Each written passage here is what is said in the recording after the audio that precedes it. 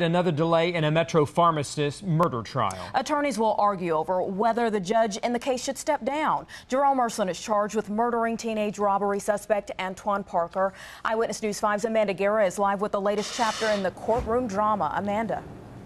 Well, Anita, you know, it seems by the time this is all done, there will be enough chapters to make a very long book. Now, pharmacist Jerome Ersland's murder trial was supposed to start here at the Oklahoma County Courthouse on December 4th, but because the lawyers in this case can't agree on a judge, it has been delayed again.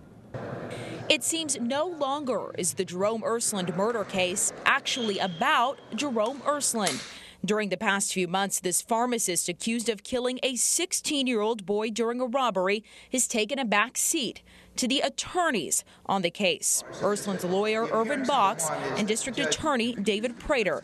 Today in court, it was about those men once again. You see, a couple months ago, DA David Prater asked Judge Tammy Bass-LeSure to remove herself from the case, citing she couldn't be fair.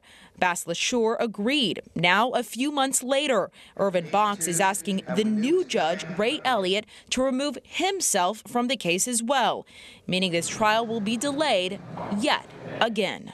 Uh, we believe this is just a tactic to delay, and we can't understand really why the defense team doesn't want to go ahead and try this case. We, are not doing it for delay at all. We would have liked to have gone to trial way back when, back when we had Judge Bass-LeSure. They didn't like her as a judge. They got her off for a reason we think is not really enough.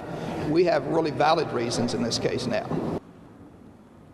And there will be another hearing on December 6th here at the county courthouse to decide if Judge Ray Elliott will stay on this case. Reporting live, Amanda Guerra, Eyewitness News 5. Thank you, Amanda. Ersland's attorney says he wants Judge Elliott off the case because he told the defense how to win and he also made racial slurs.